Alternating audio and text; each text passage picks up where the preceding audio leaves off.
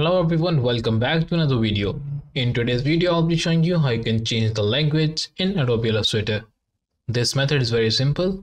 If you want to see more of Adobe Illustrator tutorials, you can check out our other videos as well.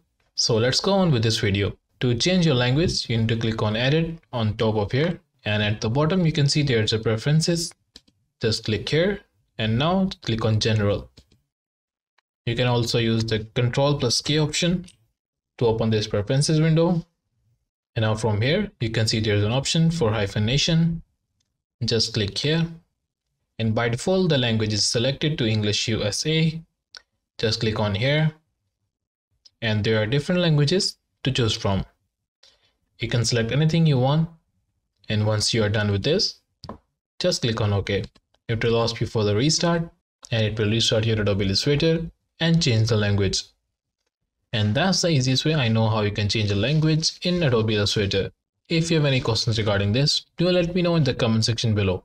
Also, if you like this video, make sure to leave thumbs up and subscribe to the channel for more. Thank you for watching. I'll see you in the next one.